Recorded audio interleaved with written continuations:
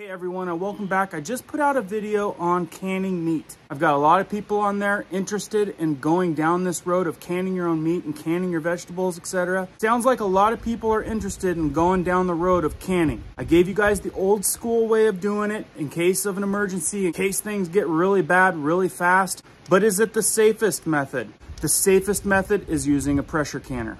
If you've got the ambition like we do to do some serious canning, stocking up now beating all the hyperinflation, paying less for meat and other things that you can can, and stocking it up now. Got so many people asking, which one do I use? This is the one we use.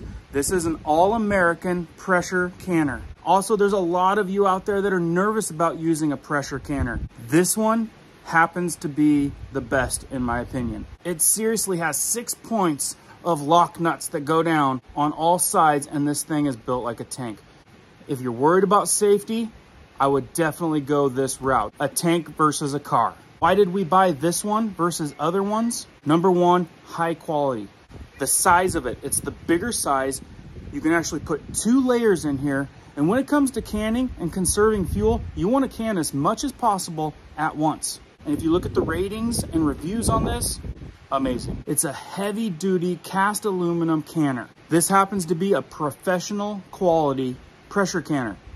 Pretty sure it's the best one you can get.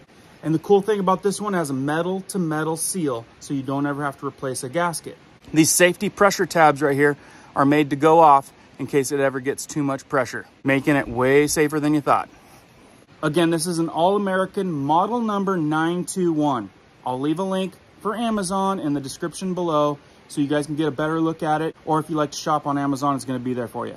I'm also gonna leave a link to another good one, another good pressure canner. It's made by Presto and it's half the price as this one.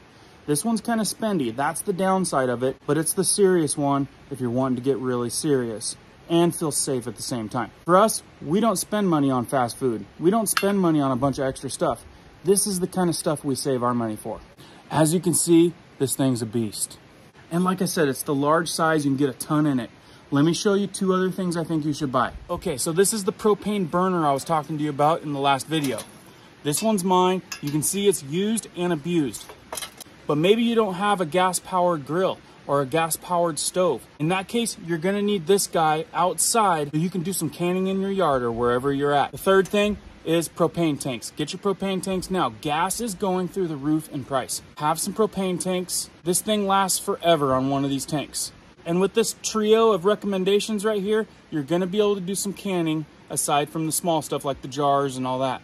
So there you go. It's a little bit of a rabbit trail off the last video, but I knew that you guys wanted to know what we're doing, getting serious about prepping and preparedness with all of this craziness going on right now. We wanna be as ready as possible. We also wanna go out and get some of that meat before we can't afford it.